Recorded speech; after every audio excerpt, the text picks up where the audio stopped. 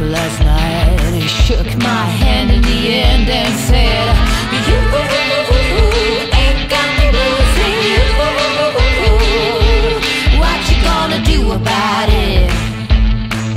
Uh-huh.